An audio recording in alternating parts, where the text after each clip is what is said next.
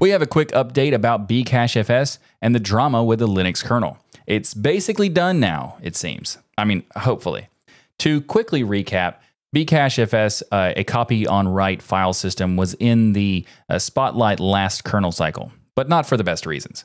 Its changes were rejected during the Linux 6.13 development cycle.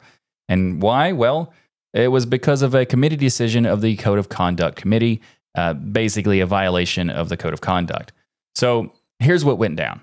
There was some drama building for quite some time, and then heated discussions on the Linux kernel mailing list got messy enough that the committee decided to decline all pull requests from the lead maintainer of Bcachefs for that cycle. Fast forward to now, and the Linux 6.14 merge window is open, and a new pull request was submitted. And guess what? No drama, no objections. Linus Torvalds and the COC committee didn't even comment on it. Uh, the changes were merged within hours. So, the big highlight here is that this pull request included what's hoped to be the final major on disk format change before Bcachefs can officially lose its experimental label. That's a huge, huge milestone. It means the file system is inches away from being production ready, which is exciting for anyone who's been following this development, as I have.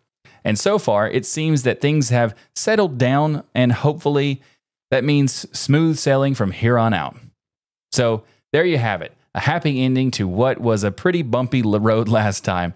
So, let's hope it stays that way. And let me know are you excited for Bcachefs to hit prime time, or are you still skeptical? Let me know in the comments.